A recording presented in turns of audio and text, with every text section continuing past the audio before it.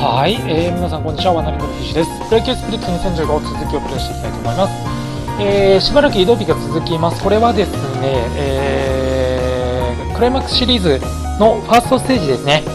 セ・リーグでは広島とドラゴンズが戦いますので、まあ、その間あ、ジャイアンツ、高橋由伸の方は調整をしていきたいと思います。まあ、あのしばらく移動日続きですので、まあ、この辺りはもう練習をひたすらやっておきましょう。でその間にですね、えー、まあ、クライマックスシリーズでどこが勝ち上がってくるかというのを見ていきたいと思います。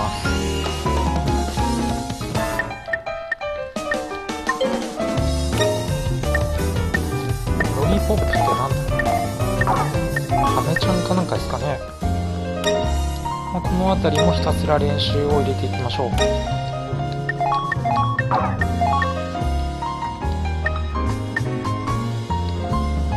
アドバイスしてくれるのか。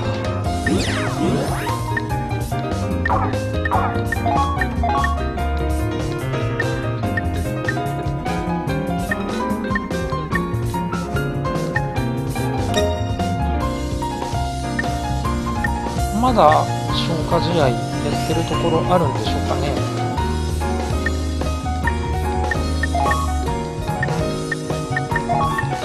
軒並み終わろうとしている。ここはもう一回呼びたい。最後の最後までこの可愛い子ちゃんたちを召喚しまくりましょう。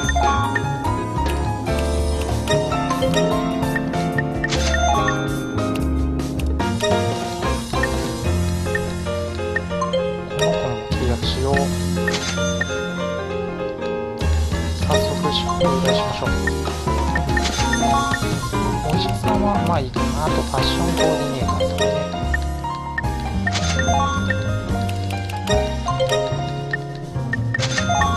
この兄弟なのか双子なのか。いいですね。さああ練習練習と。開幕シリーズのファーストステージを見たいんですけど。まだ始まらないです。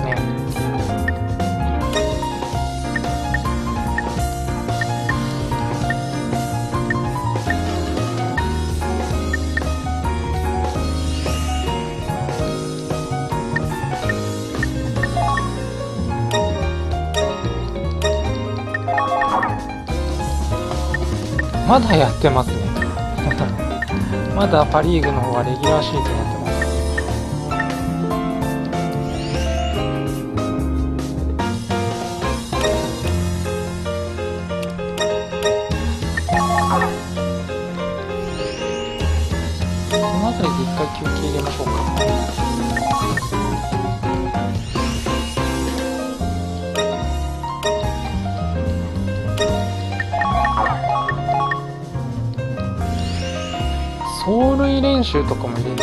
入れてこうかな。走力系。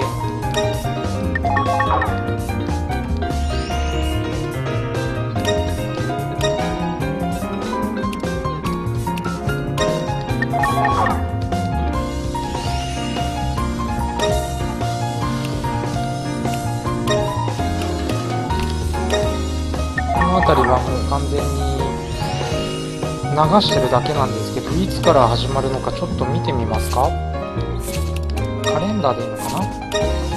あここでやってますね。10月の10日からやってますね。なのでもうちょっとですね。吉信はというとガンガン鍛えていきましょう。シーズン中もこのベースランニングとかやっとけばよかったな。さあクライマックスシリーズ。です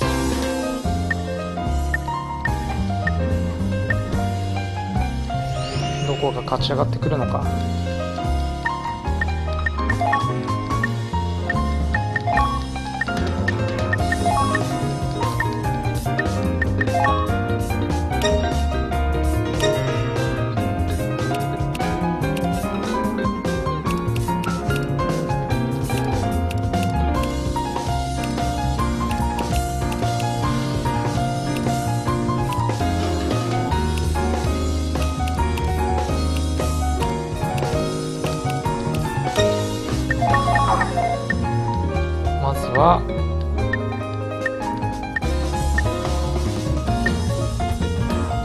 うわ大谷炎上したんだ。なるほどね。この前ノーヒットノーランしてましたけどね。あのー、ここの話です。プロ野球スピリッツの話ですけどね。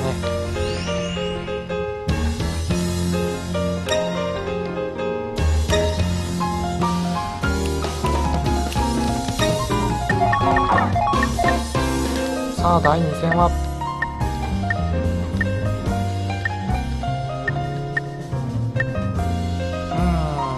バンクが2勝しましたか。えー、セ・リーグ広島パ・リーグソフトバンクがファイナルステージ。やっぱり広島と対戦することになりそうですね。ジャイアンツは。そしたらあーオイラでアシスタントさん。アシスタントさんは1人いいか。回練習入れましょう。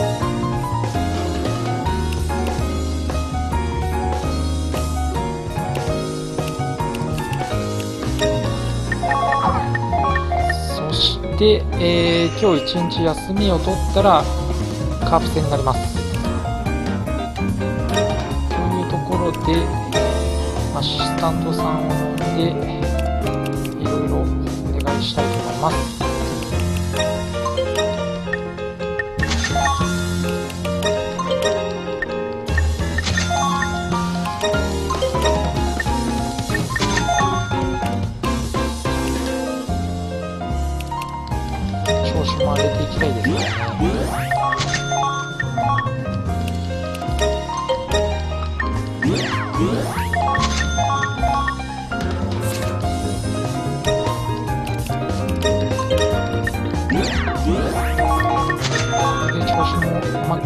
した。もう一回練習入れられそうですね。能力アップする前にもう一回練習入れましょう。軽く練習入れたいんで。振り打撃とかをやっていきましょうか。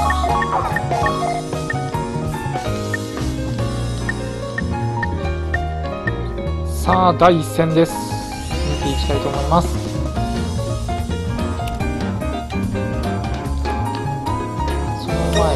能力のアップだけさせてくださいね。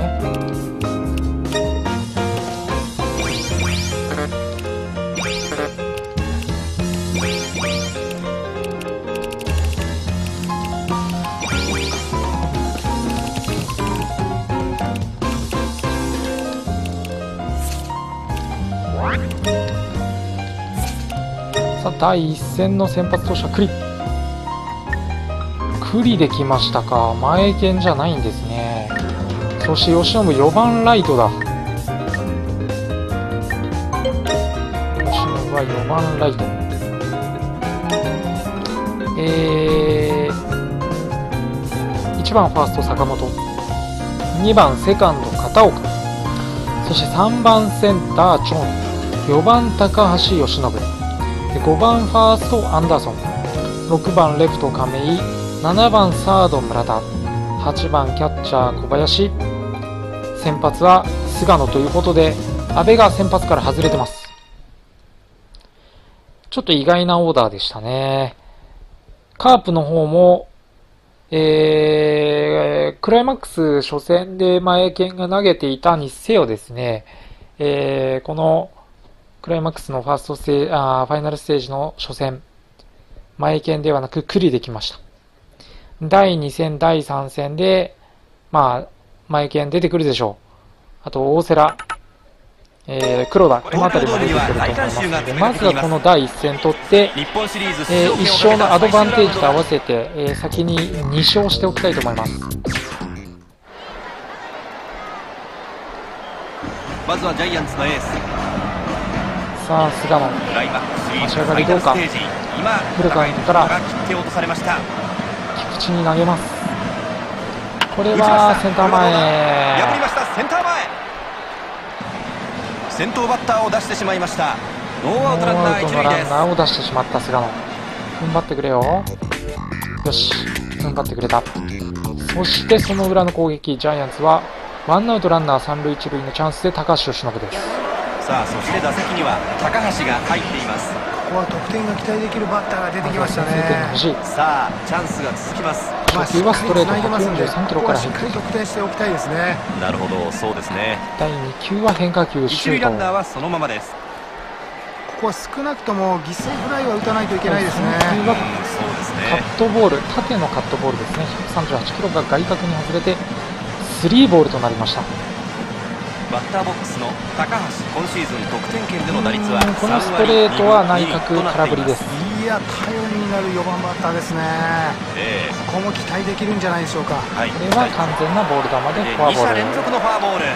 さあワンそして5番アンダーソン。ワンアウトランナー満塁。最低でもまず犠牲フライ大きく外れてボールにゲッツーは避けたい。外高め決まってストライク。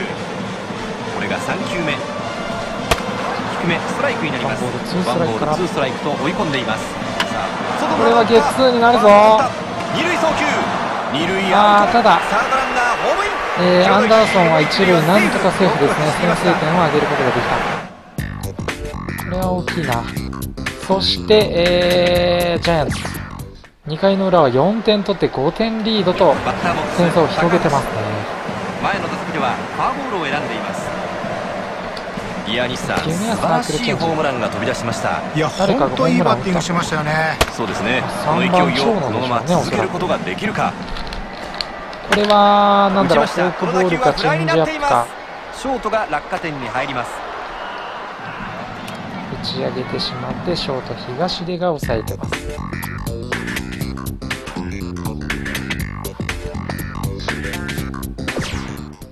高橋由伸の第3打席目は5回の裏ノーアウトランナー2塁で、えー二塁ランナーは長野ですね。先発栗が引き続きマウンドにいま外れています。どうだこれは？入ったんじゃないか？いけいけいけいけ！よし！これダメ押しのツーランですね。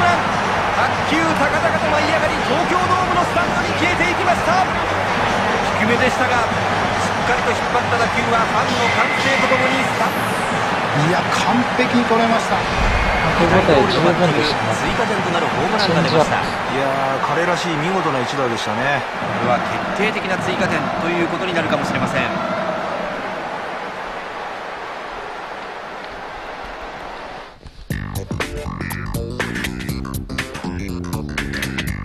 吉信の第4打席目はノーアウトランナー打席には一塁です。5番バッター先ほどは高ツーランホームランそして佐藤のデータ確認していきましょう。143キロのストレートにシュートスライダースラーブにチェンジアップが持ち球の佐藤。マックス143キロのストレートなので、まあ、そこまでめちゃくちゃ速いっていうストレートではないですからね。まずはそのストレート初球わずかに外れてボール。第2球は今度は外にスライダー。外れました。なボール球。ボール先行です。今度はスライダーがストライクゾーンに決まってます。ツーボールワンストライク。これが4球目。イインコースに持っていきました。ツーボールツーストライクです。難しいところに決めてきましたね。ボール球からストライクゾーンに入ってくるスライダー。これが決まってツーボールツーストライクになっています。まあここは狙いとは違うボールにも対応していかないといけませんね。ね。うんなるほど。そうですかこれはどうかな？丸が追いつくか？丸が追いついてますね。抑えてワンアウト。当たりはまああの良かったんですが。ナー一塁となりました。センター丸の守備範囲でした。試合の方そのままあージャイアンツが7対0で大勝というゲーム。今日は見事な完封で白星を挙げました。ジャイアンツが相手打線を完璧に抑えて勝利しました。完封勝利これで1勝のアドバンテージと合わせて2勝になってます。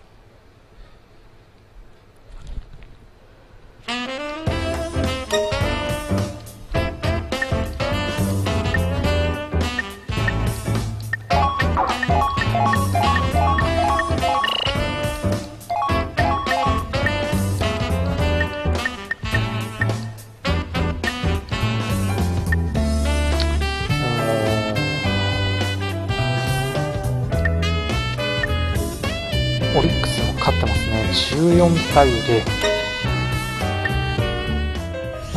完全なワンサイドゲームでしたね。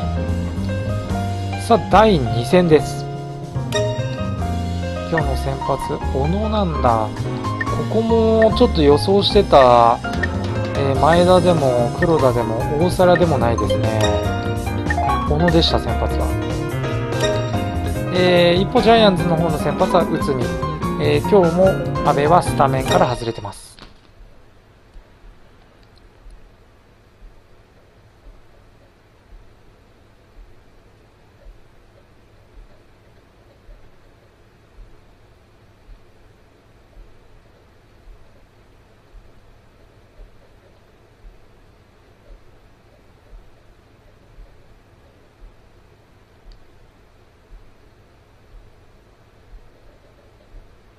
東京ドームには大観衆が詰めかけています。ジャイアンツがアドバンテー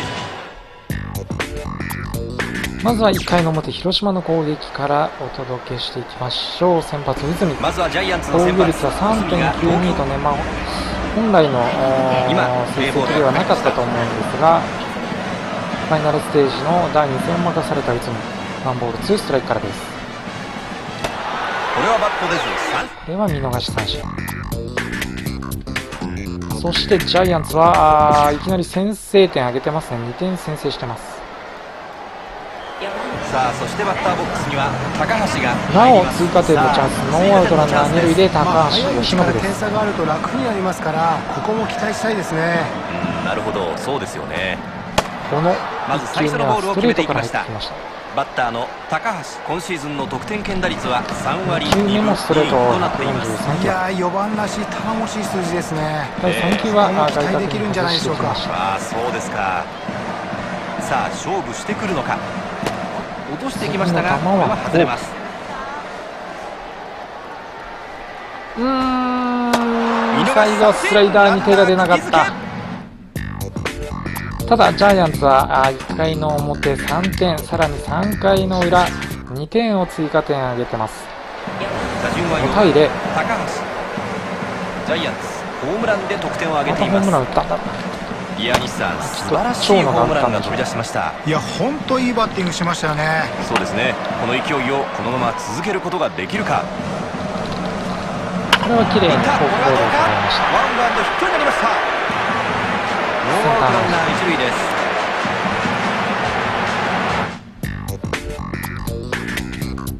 わあ3回の裏ビッグイニングで6点取ってものをノックアウトしますね、えー9対0バッターボックスは4番そして佐藤。まあ大きく差が開いてますけどどんどん点を取りに行く姿勢でいってほしいですね。ピッチャーは佐藤に西さんこ変わっているの高橋対左ストレートピッチャーはどうなん139キでしょうロに空振り。いや苦にしてませんね。第というか三球は左の方が得意だと思いますね。うん。スライダーが決まってますね。ワンボールツーストライク。さあ勝負してくるのか。最後は内角の厳しいところにストレート。見逃し三振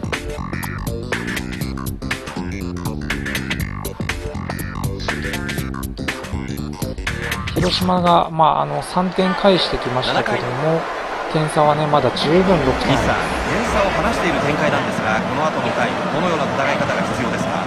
あのやっぱりね、こういう時こそ雑になってはいけないですから、次の試合のことも考えて、丁寧に丁寧に打ってほしいですよね。そうですよね。集中してほしいですよね。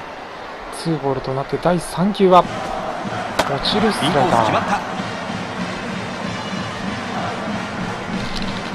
これはもう1球落ちるスライダーですねボール球に手が出てしまってこれが5 2ツーこれはどうだ？打ちました。いいですね。フェンスダイレクト。これはどうか右中間を深く破るヒットになりました。バッターランナーは二塁到達先頭バッター出ましたジャイアンツ。もうちょっと角度が出てればホームランいったかなっていうようなそういうマシンで捉えたあー当たりでした試合の方はそのままジャイアンツがえー10対3大量リード大量得点で勝ちました。前の試合7対0だったんでこの2日間で17点です。ね打撃好調ピッチャーの調子もいいと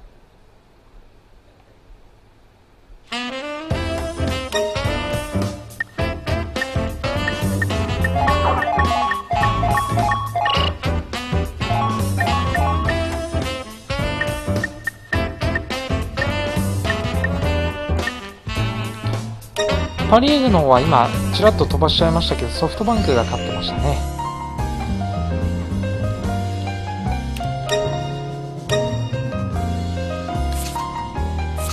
さああ第3戦目。これは何て読むんだろう？カニエじゃない？何て読むんでしょう？ごめんなさい。ちょっと読み方わからないです。わかる方いたら教えてください、えーニューって出てるんでまあ新しいピッチャーですね。ルーキーなのかな？いずれにしてもどうしてだろう？誰も出てこなかったな。予想してたのは前剣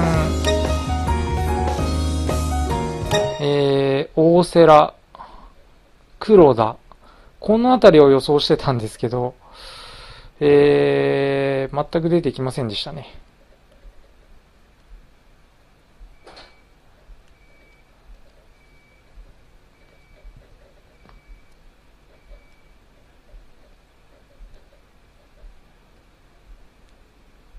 なぜ出てこないんだろう？ちょっと今考えたんだけど何にも出てこない。東京ドームには大観衆が詰めかけています。ジャイアンツが。クライマックスシリーズは2試合で終えてましたからね広島は。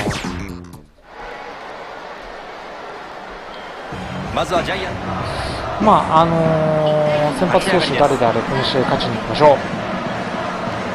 ジャイアンツの先発は杉内です。初球打ち。左中間に強い打球。さあどううだんこれは真ん中を破りました。ツーベースになってますね。バッターランナーは二塁まで進みました。2回の表。広島が3点先制して2回の裏の攻撃にジャイアンツ入っていきます。ノーアウトランナーなしで、えー、高橋由伸ゲームはこれから2回の裏に入ります。さあジャイアンツこの回は4番から始まります。高橋が誰なんだお前はという感じなんですけど。ジャイアンツビハインドで迎える2回の攻撃です西さんまずは塁上を埋めていきたいですね。まあ早い回で追いつければねこの後の展開も変わってきますからね。えー、そうですね。全球ストレートですね。さあ4球目は何か？うわー。打ちました。これは落ちた。よしよしファウルになります。スライダーですかワンボールツーストラねイクです。大きく外れてボールです。カウント2うーん最後はスライダー。ワンアウトです。見逃し三振。その後、えー両軍1点ずつ取り合って点差変わらず3点ビハインドで高橋をしのぐツーアウトラン。ナー2塁1塁入っていますさあツーアウトながらなおもチャンスは続きます。146キロのストレート。に点で多く返しておくことが重要ですからこの打席はしっかり得点に結びつボール球けたいですよ。のカーブに手が出てしまったそして146キロのストレートが見極めます。おーデッドボール。これはデッドボールということになります。この回逆転したものの1点取られて1点追加点というか、まあ、勝ち越し点を挙げてカープここで1点リードで高橋由伸です。さあマウン4ドを回の裏点の取り合いになってますねまずは146キロのストレートボール。うんこの打席ゴロを打たすようなボールには気をつけたいですね。いい当たりでしたけどファウルで。すねさあ何を狙っていくか。ツーボール西さんワンストレートからここはの第4球走ってこないんでしょうか。いやまだわかりませんね。45キロのストレートのただ空振り。ここはいいバッターなんでバッティングに期待ということかもしれませんね。なるほどそうですか。いった。これはいった。ストレートだと思います試合を決める一発素晴らしい一振りでした。フルカウントからのストレート。打ち返した打球は大きな当たりとなってスタンドに届いていきました。いや完いやー璧にストレートを完璧に捉えた。そうです。ね体をうまく回転させてライトスタンドにボールを運びました。しっかり振り抜けてましたし距離も完璧でしたね。徐々に試合の流れを確かなものにしようとしています。これで3点リードと状況変わりましたままあー。ジャイアンツが勝てば先ほどは期待に応える見事なホームランでした、はい。ピッチャー中田がまだマウンドにいますね。フォークから入ってきました。初球ボール球です。先ほどはストレートを見ました。ボールです。ここはストライクが入らないですね。ボールが歩かせるかな三つになります。次が4球目高め際どいところ見送りましたがストライクです。ストライク。こスリーボールから粘ってフルカウントです。れはフォークボールウルになりねます。バッターボックスの高橋今シーズン得点圏での打率は引っ張った。ファーストが前に来る。一塁アウトでスリーアウトでチェンジですそのままあ一塁に入りました。吉信はもう退いていますそのまま試合の方ジャイアンツが勝って日本シリーズ進出を決めたというところですね。読売ジャイアンツ日本シリーズ進出決定。今大歓声に包まれながら大きな拍手。抱き合う選手もいます。監督ようやく笑顔。クライマックスシリーズを制したのは読売ジャイアンツ。ですこれで日本シリーズ進出ということになりました全勝で日本シリーズへの進出を決めました。西さんレギュラーシーズン優勝チームの貫禄見せつけましたね。ああやっぱり強いですね。まあとにかく圧倒しましたね。本当そうえー、ですよね。吉信はあーこの試合でもホームランをン放って万歳三勝が始まっています。さあそして監督の胴上げ。東京ドームのファンが大きな拍手。そして大歓声。今胴上げが終わって全選手がまずはスタンドのジャイアンツファンのもとに向かいますファンの後押しを受けたそのお礼とともにこれから日本シリーズを戦うそんな誓いを込めた。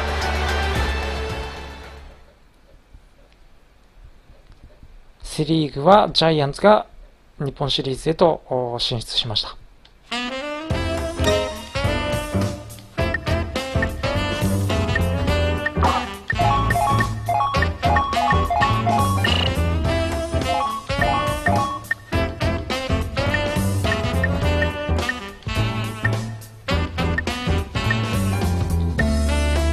してパ・リーグの方がちょっと微妙になってきましたね。オリックス負けて2勝2敗になってますね。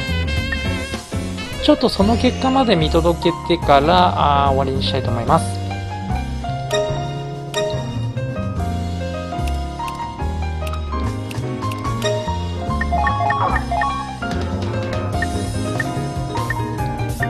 どっちが勝ったんだ？おお大隣が勝ってこれで逆王手になりましたね。逆王手逆王手ではないですね。普通に王手ですね。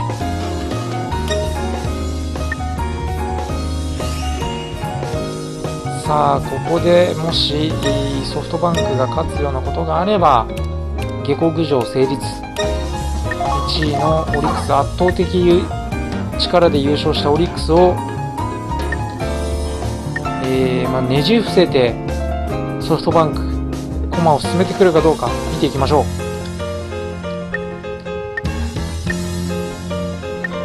おー。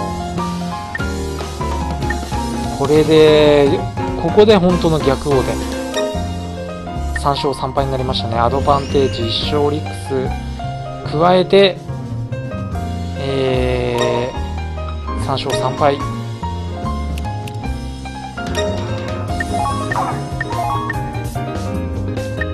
さあどっちだ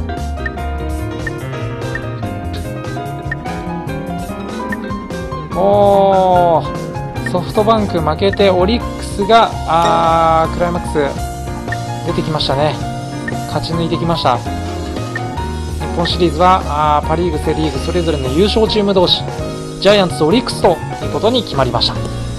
えーというわけで次回はいよいよ日本シリーズをお届けしていきたいと思います。えーそちらの方もぜひぜひ、えーお楽しみにしていただければというふうに思います。今回はここまで。